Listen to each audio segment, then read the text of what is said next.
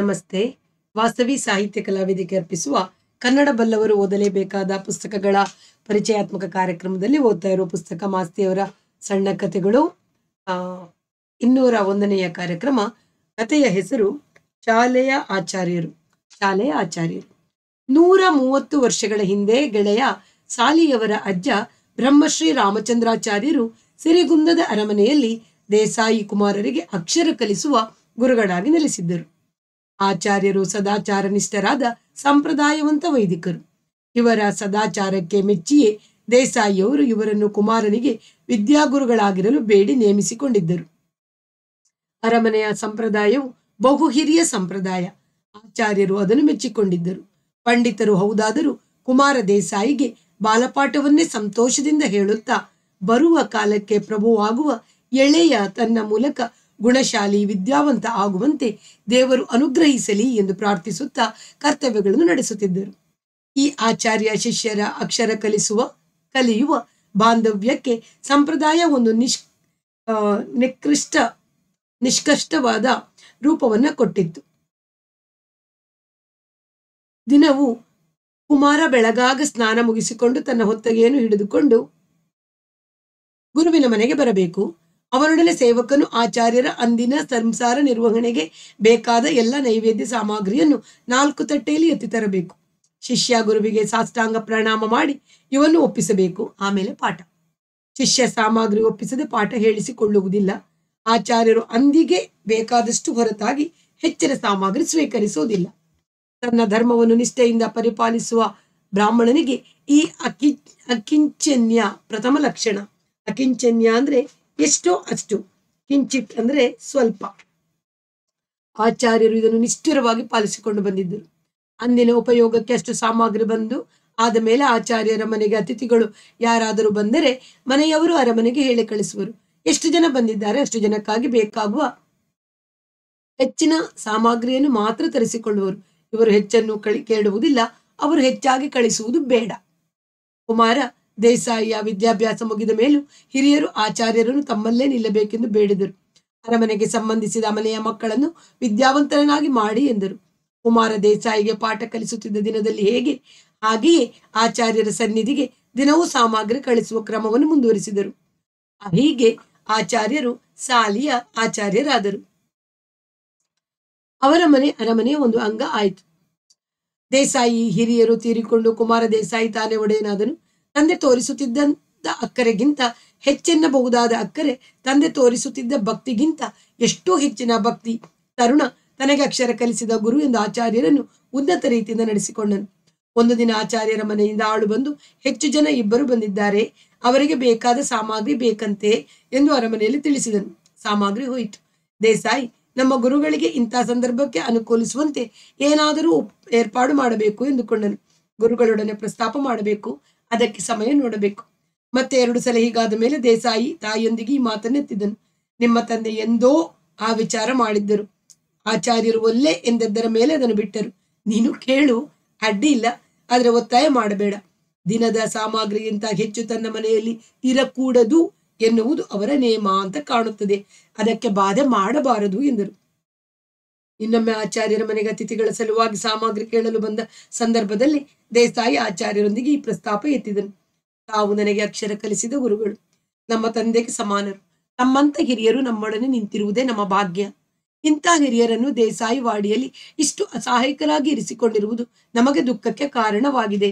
ಅರಮನೆಯ ಸಮೃದ್ಧಿ ತಮ್ಮ ಮನೆಯಲ್ಲೂ ಇರಬೇಕು, ಇದನ್ನು ಅನುಗ್ರಹಿಸಬೇಕು. ಆಚಾರ್ಯರು, ಅರಮನೆಯ ಸಮೃದ್ಧಿ ನಮ್ಮ ಮನೆಯಲ್ಲಿ ಇರಬೇಕೆಂದರೆ ಈಗ ಇರುವ ಏರ್ಪಾಡೇ ಸರಿ. ಬೇರೆ ಏನು ಮಾಡಿದರೂ ಇಷ್ಟು ಸಮರ್ಪಕವಾಗಿ ಆಗುವುದಿಲ್ಲ ಎಂದರು. ದೇವರ ಕೃಪೆಯಿಂದ ನಮಗೆ ಬೇಕಾದಷ್ಟು ನೆಲ ಇದೆ. ತಾವು ಒಪ್ಪಿದರೆ ನಮಗೆ, ತಮಗೆ ಇಷ್ಟು ನೆಲ ಅಂತ ದತ್ತಿ ಬರೆದು ಕೊಡುತ್ತೇನೆ. ಅರಮನೆಗೆ ಧಾನ್ಯ ಬರುವಂತೆ ತಮ್ಮ ಮನೆಗೆ ಧಾನ್ಯ ಬರುತ್ತದೆ. ಅದನ್ನು ತಮ್ಮ ಮನೆಯ ಜನ ಬಳಸಬಹುದು. ಮಾತಿಗೆ ಮುಂಚೆ ಎಲ್ಲಿಗೆ ಹೇಳಿ ಕಳಿಸಿ ಪಾವು, ಅರೆ ಪಾವು ಧಾನ್ಯ ತರಿಸಿಕೊಳ್ಳಬೇಕಾದುದಿಲ್ಲ ಎಂದನು. ಆಚಾರ್ಯರು ನನ್ನ ಮನೆ, ನನ್ನ ಆಚಾರ ವಿಚಾರಕ್ಕಾಗಿ, ಪೂಜೆ ಪುರಸ್ಕಾರಕ್ಕಾಗಿ ನನ್ನದು. ಊಟದ ವಿಷಯದಲ್ಲಿ ಅದು ಅರಮನೆಯ ಬಿಡದಿಯ ಭಾಗ್ಯ. ನಿಮ್ಮ ಉಗ್ರಾಣವೆಲ್ಲ ನನ್ನ ಉಗ್ರಾಣ. ನನಗೆ ಯಾವುದಕ್ಕೂ ಕಡಿಮೆ ಇಲ್ಲ. ಆದರೆ ಹೇಳಿ ಕಳುಹಿಸದೆ ನಡೆಯುವಂತಿಲ್ಲ ಎನ್ನುವಷ್ಟು ಬರಿದಾಗಿರಬಾರದು. ಏಕೆ ಮನೆ? ಈ ಮಾತನ್ನೆಲ್ಲ ನಿಮ್ಮ ತಂದೆಯವರಲ್ಲಿ ಒಮ್ಮೆ ಅರಿಕೆ ಮಾಡಿದ್ದೆ. ಅವರು ಒಪ್ಪಿದ್ದರು. ಆ ಮಾತನ್ನೇ ಮರಳಿ ಹೇಳಬೇಕೆಂದರೆ ಹೇಳುತ್ತೇನೆ. ಅಪ್ಪಣೆಯಾಗಲಿ. ನನಗೂ ತಿಳಿದಂತಾಗುತ್ತದೆ. ಆಚಾರ್ಯರು ಹೇಳಿದರು, ನೋಡಿ ಪ್ರಭು, ನಾನು ವೈದಿಕ ಬ್ರಾಹ್ಮಣ. ನನಗೆ ಒಂದು ಆದರ್ಶ ಇದೆ. ಅದು ಏನು? ಒಂದೊಂದು ದಿನದ ಊಟ ಆಯಾ ದಿನ ಬರಬೇಕು. ಅದಕ್ಕೆ ಹೆಚ್ಚು ಮನೆಯಲ್ಲಿ ಇರಬಾರದು. ಇದು ಎಂದೋ ನಮ್ಮವರು ಮಾಡಿದ ಆದರ್ಶ. ನಡೆಯುವುದಿಲ್ಲ ಅಂತ ಎಲ್ಲರೂ ಬಿಟ್ಟಿದ್ದಾರೆ ನನ್ನ ಪುಣ್ಯ. ನಿಮ್ಮ ತಂದೆಯವರು ನನ್ನನ್ನು ಇಲ್ಲಿ ನೇಮಿಸಿಕೊಂಡಾಗ ಈ ಕಟ್ಟಲೆಗೆ ಒಪ್ಪಿಕೊಂಡರು. ಅಂದಿನಿಂದ ನೇಮಕ್ಕೆ ನೇಮ ಆಯಿತು. ನಿರ್ಭಯವಾಗಿ ಜೀವನ ನಡೆಯಿತು. ನೀವು ಮನಸ್ಸು ಮಾಡಿದರೆ ನನ್ನ ನೇಮ ಉಳಿಯುತ್ತದೆ. ಇಲ್ಲ ಎಂದರೆ ನೇಮ ಕೆಡುತ್ತೆ. ಮತ್ತೆ ಹತ್ತಾರು ವಿಚಾರದ ವಿಚಾರದಲ್ಲಿ ಅಪಾಯ ಒದಗುತ್ತದೆ. ಅಪಾಯ ಏನು? ಈಗ ನೋಡಿ. ನನಗೆ ಅನ್ನದ ವಿಷಯದಲ್ಲಿ ಚಿಂತೆ ಇಲ್ಲ. ಅರಮನೆಯಲ್ಲಿ ಲಕ್ಷ್ಮಿ ತಾಂಡವ ನಡೆಯುತ್ತಿದೆ. ನನ್ನ ಮನೆ ಅದರಲ್ಲಿ ಸೇರಿ ಹೋಗಿದೆ. ನೀವು ನನಗೆ ನೆಲ ಕೊಟ್ಟಿರಿ. ನೀವು ಕಳುಹಿಸುತ್ತಿರೋ ಸಾಮಗ್ರಿಗಳ ನಾಲ್ಕರಷ್ಟು ಕಾಳು ಬರಬಹುದು. ಬೇರೆ ಸಾಮಗ್ರಿಗೆ ಹೇಗೆ? ಅದಕ್ಕೂ ನೀವು ನೆಲ ಕೊಟ್ಟಿರಿ. ಅದನ್ನೆಲ್ಲ ನೋಡಿಕೋಬೇಕು. ನೋಡಿಕೊಳ್ಳುವರು ಯಾರು? ನಿಮ್ಮ ಜನರೇ ನೋಡಿಕೊಳ್ಳಬೇಕು. ಅಂದ ಮೇಲೆ ಅರಮನೆಯದು ಅಂತ ದೊಡ್ಡ ನೆಲ ಗುರುಮನೆಯದು ಅಂತ ಸಣ್ಣ ನೆಲ, ಹೀಗಂತ ಬೇರೆ ಬೇರೆ ಮಾಡಿದ ಹಾಗಾಯಿತು ಹೊರತು ನನಗೆ ಅನುಕೂಲ ಹೆಚ್ಚಲಿಲ್ಲ, ನಿಮಗೆ ತೊಂದರೆ ಒಪ್ಪಲಿಲ್ಲ. ಸರಿ, ಈಗ ಒಂದು ವರ್ಷ ಮಳೆ ಬರಲಿಲ್ಲ, ನಾನು ನಿಶ್ಚಿಂತೆಯಾಗಿಯೇ ಕೂತಿರುತ್ತೇನೆ. ಅರಮನೆಗಾದದ್ದು ನನಗೆ, ನನ್ನ ನೆಲೆ ಬೇರೆ ಆಯಿತೋ, ಏನಪ್ಪಾ ಅಂತ ಚಿಂತೆ. ಬೆಳೆ ಬರಲಿಲ್ಲ, ಅರಮನೆಗೆ ಹೇಳಿ ಕಳಿಸಲೇಬೇಕು. ನಾನು ಬೇಡೋದು ತಪ್ಪಲಿಲ್ಲ ನೀವು ಕೊಡೋದು ತಪ್ಪಲಿಲ್ಲ ದಿಟ ಸಾಗುವಳಿದಾರರು ತೊಂದರೆ ಕೊಡದೆ ಇರೋಲ್ಲ, ಕಾಳು ಮನೆಗೆ ಸರಾಗ ಬರೋಲ್ಲ, ಈಗ ಅದು ನಿಮ್ಮ ಅವರ ಮಾತಾಗಿದೆ. ನನ್ನ ನೆಲ ಅಂತ ತಿಳಿದು ಈ ತೊಂದರೆ, ಈ ಕಷ್ಟ ನಾಲ್ಕು ಪಟ್ಟು ಹೆಚ್ಚಾದೀತು. ಇದನ್ನು ಸರಿ ಮಾಡಿ ಅಂತ ನಾನು ನಿಮಗೆ ಹೇಳಬೇಕು. ನಿಮ್ಮ ಗುರಿಕಾರ, ನಿಮ್ಮ ಮಣಿಯ, ನಿಮ್ಮ ಕಾರಕ್ಕೂನೇ ಇದರ ಲೆಕ್ಕ ನೋಡಿಕೊಂಡು ಬಗೆಹರಿಸಬೇಕು. ಈಗ ನನಗೆ ಈ ಚಿಂತೆ ಯಾವುದೂ ಇಲ್ಲ. ಆಗ ನಾನೊಬ್ಬ ಲೌಕಿಕ ಸಂಸಾರಿ ಆದೆ. ಸಾಗುವಳಿ ಜನರೊಂದಿಗೆ ವ್ಯವಹಾರ ನಡೆಸುವವನಾದೆ.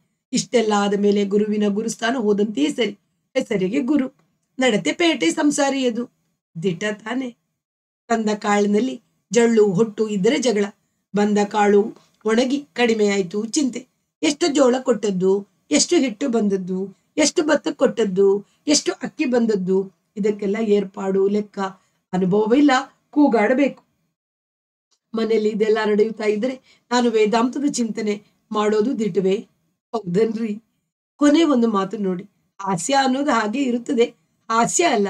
ಈಗ ನಿಮ್ಮ ಉಗ್ರಾಣದಲ್ಲಿ ಇಲಿ, ಹೆಗ್ಗಣ ನಮಗೆ ಬೇಕಾದ ಕಾಳು ತಿನ್ನುತ್ತಾ ಇವೆ. ಅದು ಎಷ್ಟು? ನನಗೋದಕ್ಕೂ ಸಂಬಂಧ ಇಲ್ಲ. ಅಥವಾ ಸಂಬಂಧ ಇತ್ತು. ನಾನು ಅವು ತಿನ್ನುವುದರಲ್ಲಿ ಪಾಲುಗಾರರು. ನಿಮ್ಮೊಂದಿಗೆ ನಿಮ್ಮ ಸಂಪತ್ತನ್ನ ಅನುಭವಿಸ್ತಾ ಇರೋದು. ಅಂದರೆ ಈಗ ನಾನು ಅವುಗಳ ಜೊತೆ. ನೀವು ಎದುರು, ನೆಲ ನನ್ನದು. ಕಾಳು ನನ್ನ ಮನೆಯಲ್ಲಿದೆ ಅಂದೆನೋ, ಅವು ನನ್ನ ಮನೆಗೆ ಬರುತ್ತವೆ. ಪಾಲಿಗೆ ನಿಲ್ಲುತ್ತವೆ. ಅವು ಒಂದು ಪಕ್ಷ, ನಾನು ಎದುರಾಳಿ. ನಿಮ್ಮ ಆಳುಗಳು ಇಲಿ, ಹೆಗ್ಗಣಕ್ಕೆ ಏನೋ ಮಾಡುತ್ತಾರೆ. ಅದನ್ನು ನಾನು ಮಾಡಬೇಕಾಯ್ತು. ಅರಮನೆಯಲ್ಲಿ ಇದೆಲ್ಲ ಆಗಬೇಕು. ವಿಧಿ ಇಲ್ಲ. ಗುರುಮನೆಯಲ್ಲಿ ಆಗಬೇಕೇ? ದೇಸಾಯಿ ನಕ್ಕರು, ಒಪ್ಪಿದೆ ಗುರುಗಳೇ. ಹೀಗಿರುವಂತೆಯೇ ನಡೆಯಲಿ ಬಿಡಿ ಎಂದರು. ಆಚಾರ್ಯರು ಹೇಳಿದರು, ಸಂತೋಷ ಪ್ರಭು, ನೀವು ಒಪ್ಪುತ್ತೀರಿ ಅಂತ ನನಗೆ ಧೈರ್ಯ ಇತ್ತು. ಆದ್ದರಿಂದಲೇ ಇಷ್ಟು ಮಾತನ್ನು ಆಡಿದೆ. ಇದರ ಮೇಲೆ ನನಗೆ ಅದರಿಂದ ಇನ್ನೊಂದು ಪ್ರಯೋಜನ ಇದೆ. ಅದನ್ನು ಕಳ್ಕೊಳ್ಳೋಕೆ ನನಗೆ ಇಷ್ಟ ಇಲ್ಲ. ಅದನ್ನು ನಿಮಗೆ ಹೇಳಬೇಕು. ಅಪ್ಪಣೆಯಾಗಲಿ. ನೋಡಿ ಅಪ್ಪಾಜಿ. ನೋಡಿ ಅಪ್ಪಾಜಿ ಈಗ ನೀವು ದಿನ ಊಟ ಮಾಡೋಕೆ ಕುಳಿತಾಗ ಆಚಾರ ಮನೆಗೆ ಸಾಮಗ್ರಿ ಹೋಯಿತೇನೋ ಅಂತ ಅರಮನೆ ಮಂದಿನ ಕೇಳ್ತೀರಿ. ದಿನ ಅಲ್ಲದೆ ಇದ್ರೂ ವಾರದಲ್ಲಿ ಮೂರು ದಿನ ಕೇಳ್ತೀರಿ. ಅಲ್ಲ? ಹೌದು, ಅದನ್ನು ತಾವು ಬಲ್ಲಿ ಬಲೆ ನಿಮ್ಮ ಮಂದಿ ಹೇಳುತ್ತಾರೆ, ನಾವು ನಿಮ್ಮನ್ನು ಸರಿಯಾಗಿ ನೋಡ್ಕೊಳ್ಳುತ್ತಿದ್ದೀವಿ ಅಂತ ದನಿಗಳಿಗೆ ಹೇಳಿರಾ ಅಂತ ಆಗಾಗ ಬೇಡ್ತಾರೆ. ಅಂದರೆ ದೇಸಾಯಿ ಆಗಾಗ ನಮ್ಮ ಚಿಂತೆ ಹಚ್ಚಿಕೋತಿದ್ದಾರೆ. ನಾವು ಅವರಿಗೆ ಬೇಕಾಗಿದ್ದೀವಿ ಅಂತ ನಮಗೆ ನಿಶ್ಚಯ. ಜೊತೆಗೆ ಇನ್ನೊಂದು, ದಿನ ಸಾಮಗ್ರಿ ಬರುತ್ತಾ ಇರೋದ್ರಿಂದ ನಮಗೆ ಈ ಸಾಮಗ್ರಿ ಕಳಿಸೋ ಮನೆ, ನಮ್ಮ ಅರಮನೆ, ನಾವು ಇವರನ್ನ ತಿಂತಾ ಇದ್ದೀವಿ ಅಂತ ಹಂಗು. ನಮ್ಮನ್ನ ಹೀಗೆ ನೋಡ್ಕೊಳ್ತಾ ಇರೋ ಮನೆ ಸುಖವಾಗಿರಲಿ ಅಂತ ದೇವರಲ್ಲಿ ಪ್ರಾರ್ಥನೆ. ಇದು ನಮ್ಮನ್ನ ಅಹಂಕಾರಕ್ಕೆ ಬೀಳದಂತೆ ನೋಡಿಕೊಳ್ಳುತ್ತದೆ. ನಮ್ಮ ಮನಸ್ಸನ್ನ ಹಸನಾಗಿರುತ್ತದೆ. ನೆಲ ನಮ್ಮದು, ಕಾಳು ನಮ್ಮದು, ವರ್ಷಕ್ಕೊಮ್ಮೆ ಬರೋದು ಅಂತ ಆಯ್ತು. ನೀವು ನಮ್ಮನ್ನು ಮರೆತರೆ ಬೇಡ ಅನ್ನಲಿಲ್ಲ. ನಿಮ್ಮ ಕಣ್ಣು, ನಿಮ್ಮ ಮನಸ್ಸು ನಮ್ಮತ್ತ ತಿರುಗೋದು ಬೇಕಾಗಿಲ್ಲ. ಉಂಟೆ. ಇಲ್ಲ ಅನ್ನಿರಿ. ನೀವು ಸಜ್ಜನರು ಇದು ಆಗೋಲ್ಲ. ಆದರೆ ನಾನು, ನಮ್ಮ ಮನೆಯವರು, ನಮ್ಮ ಅನ್ನ ನಾವು ಉಣ್ಣುತ್ತೇವೆ, ಇವರ ಪರಿವಿ ಏನು ಅಂತ ನಾವು ನಿಮ್ಮನ್ನು ಕಡೆಗಣಿಸಿದ್ರೂ ಆಯ್ತು.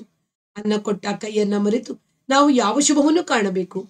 ಮನುಷ್ಯ ಏನೇ ಆದರೂ ಉಳಿಯಬಹುದು. ಸೊಕ್ಕಿ ಉಳಿಯಲಾಗದು. ಅದರಲ್ಲೂ ಬ್ರಾಹ್ಮಣನಾಗಿರುತ್ತಾನೆ ಅನ್ನೋ ಬ್ರಾಹ್ಮಣ ಸೊಕ್ಕಿದನೋ? ಚಾಂಡಾಲನಾದ. ಅವನಿಗೆ ದುರ್ಗತಿ, ಅವನ ಹಿರಿಯರಿಗೆ ಸ್ವರ್ಗದಿಂದ ಚ್ಯುತಿ. ಶಿವ ಶಿವ. ಅದಕ್ಕಾಗಿ ನೋಡಿ, ನಿಮ್ಮ ತಂದೆ ನನ್ನ ಮಾತಿಗೆ ಆ ಒಪ್ಪಿದರು. ನೀವು ಅವರ ಮಾತನ್ನು ನಡೆಸಿರಿ. ನಾನು ನಿಮ್ಮವನಾಗಿರುತ್ತೇನೆ. ದಿನಾ ದೇವರೆದುರು ನಿಮ್ಮ ಹೆಸರು ಹೇಳುತ್ತೇನೆ. ನೀವು ನನ್ನ ನಿಮ್ಮವನಂತೆ ಕಾಣುತ್ತಾ ಇರುತ್ತೀರಿ. ದಿನ ನನ್ನ ಕಾಳಜಿ ತಕ್ಕೋತೀರಿ. ಗೀತಾಚಾರ್ಯರು ಪರಸ್ಪರ ಭಾವಯಂತ ಶ್ರೇಯ ಪರಮವಾಪ್ಸ್ಯತ ಅಂತ ಅಪ್ಪಣೆ ಕೊಟ್ಟದ್ದು ನಡೆಯಲಿ. ಒಬ್ಬರನ್ನೊಬ್ಬರು ಅರಿತುಕೊಂಡು ಅತ್ಯಂತ ಒಳಿತನ್ನು ಹೊಂದಿರಿ. ದೇಸಾಯಿ ಗುರುವಿನ ಮಾತನ್ನು ಸಲ್ಲಿಸಿದರು. ಆಚಾರ್ಯರು ಕೊನೆಯವರೆಗೂ ಅಕಿ ಅಕಿಂಚನ್ಯ ವೃತವನ್ನು ಪಾಲಿಸಿದರು. ಕತೆ ಕೇಳದೆ ಎಲ್ಲರಿಗೂ ನಮ್ ಧನ್ಯವಾದ. ಮುಂದಿನ ಕಥೆಯನ್ನು ಮುಂದಿನ ವಾರ ಕೇಳೋಣ. ಅಲ್ಲಿಯವರೆಗೆ ಎಲ್ಲರಿಗೂ ಪ್ರೀತಿಯ ನಮಸ್ಕಾರ.